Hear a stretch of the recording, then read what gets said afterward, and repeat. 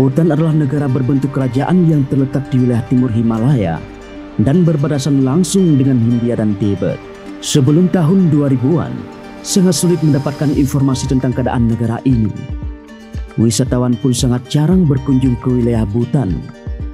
Barulah pada awal tahun 2000-an, Bhutan membuka akses untuk wisatawan yang ingin menjelajahi negara mereka. Nah, Berikut beberapa fakta yang mungkin belum kalian ketahui tentang Bhutan. Penduduk paling bahagia Bhutan memiliki populasi kurang lebih 700 ribu jiwa. Dari jumlah tersebut, 97% di antaranya mengaku bahwa hidup mereka sangat bahagia. Mayoritas penduduk Bhutan memeluk agama Buddha dan sangat menerapkan prinsip-prinsip kesederhanaan yang diajarkan oleh agama mereka. Tidak heran, Meskipun dengan GDP yang hanya sebesar 2.500 US dollar per tahun, penduduk Bhutan sudah sangat bahagia. Hari di mana salju pertama turun adalah hari libur nasional. Salju pertama memang selalu dinanti karena menawarkan keindahan tersendiri bagi penikmatnya. Jika di negara lain salju dinikmati karena keindahannya, berbeda dengan Bhutan yang sangat menghargai salju. Saking berharganya, saat salju pertama turun di wilayah Tiger Nest, seluruh negara di hari itu juga akan langsung berlaku hari libur nasional. Hal ini dikarenakan salju dianggap sebagai pembawa rejeki, yang mana saat mencair, airnya akan mengalir ke arah lembah yang merupakan areal pertanian. Teknologi diperkenalkan mulai tahun 2000-an.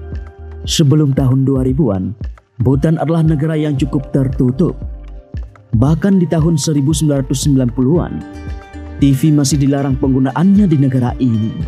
TV, mobil dan teknologi lainnya baru berkembang pesat setelah memasuki periode tahun 2000-an. Meskipun demikian, untuk bisa memiliki teknologi ini haruslah orang-orang yang berpenghasilan cukup tinggi karena beban pajak yang cukup besar. Hanya dua cara untuk bisa traveling. Wisata ala backpacker yang belakangan sedang tren sangat dilarang dilakukan di Bhutan. Hanya terdapat dua cara untuk bisa menjelajahi negara ini. Pertama adalah dengan cara mengikuti paket tour yang sudah disiapkan oleh pemerintah Bhutan. Meskipun harga tiap paket cukup mahal, namun sepadan dengan kualitas yang diberikan. Mulai dari hotel bintang 5, makanan mewah, guide yang selalu siap menemani dan beberapa hal lainnya. Cara kedua adalah dengan diundang secara langsung oleh penduduk lokal akan menguntungkan jika memiliki teman atau kenalan yang asli warga Butan, karena kalian tidak perlu ikut paket tour yang harganya cukup mahal. Namun, dalam setahun penduduk lokal hanya diizinkan mengundang dua orang saja, dan dengan pengurusan dokumen-dokumen yang cukup banyak. Jumlah wisatawan yang masuk ke Butan sangat dibatasi, karena menurut pemerintah mereka, jumlah wisatawan yang terlalu banyak akan menyebabkan sulitnya mempertahankan budaya asli warga Butan.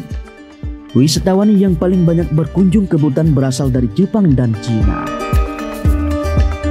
Tidak ada lampu lalu lintas. Bhutan tidak memiliki lampu lalu lintas. Petugas yang terdapat dalam gambar inilah yang bertindak untuk mengatur lalu lintas. Dengan menggunakan sarung tangan berwarna putih, petugas mengatur kelancaran lalu lintas. Meskipun tidak ada lampu lalu lintas, warga Bhutan tetap patuh terhadap peraturan di jalan raya. Semua daging adalah impor.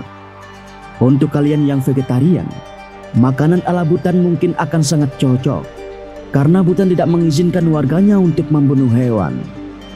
Bahkan memancing pun dilarang. Hal ini mereka tetapkan berdasarkan ajaran Buddha yang mana membunuh makhluk hidup akan dapat mendatangkan karma. Jika terdapat makanan berupa daging, bisa dipastikan bahwa daging tersebut adalah impor. Reincarnation Comet. Beberapa agama memang memiliki konsep yang berbeda tentang kehidupan setelah kematian. Salah satunya adalah Buddha yang merupakan agama mayoritas penduduk Bhutan. Buddha meyakini bahwa setelah kematian akan ada yang namanya reinkarnasi. Dan penduduk Bhutan sangat mempercayai hal ini. Sehingga dibentuklah Reincarnation Comet atau komite yang menangani tentang reinkarnasi. Komisi ini dibentuk setelah terdapat banyak kasus seorang mengklaim bahwa ia mengingat tentang kehidupannya sebelumnya. Namun ternyata klaim tersebut adalah palsu. Komite ini bertugas untuk memastikan klaim tersebut dengan menggunakan beberapa tes. Pihak yang mengklaim harus mampu mengingat setidaknya 75% dari kehidupannya sebelum dilahirkan kembali. Hingga tahun 2016, terdapat 25 orang yang lulus tes tersebut dan diakui telah mengingat kehidupan sebelumnya.